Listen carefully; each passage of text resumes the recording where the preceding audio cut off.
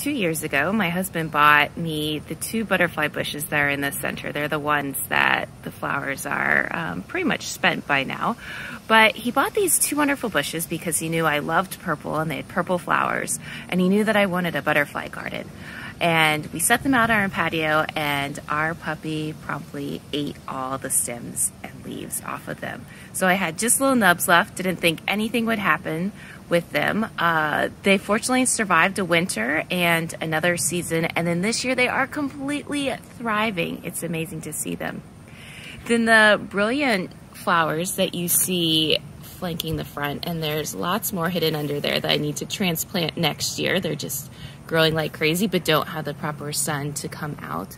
They were gifts from a neighbor. I was on a walk in the neighborhood a couple months ago and noticed that a neighbor had cups of flowers sitting out that just said simply take care of our pollinators. So I grabbed a few cups of flowers, not having a clue what was in them. They were just sprouts. So I planted them and lo and behold, they have sprung up so nice and beautifully.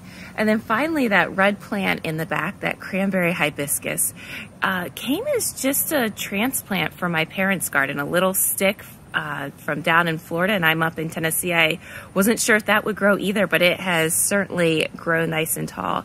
And so every time I look at this garden and I think of all the mishaps that happened between my puppy eating, the the plants to gifts that came from neighbors and my parents, I think about my goals in life and and projects that I work on and how they may seem to be struggling from one point to another. I'm not quite sure how they'll turn out. Um, there may even be um, terrible roadblocks and challenges, but in the end, something comes forward that blooms so nicely, and then I can take that and run with it and, and grow even further. So I hope that you are tending your gardens well, whether they are uh, literally gardens or figuratively gardens of work and family and career and relationships and faith. Have a great week.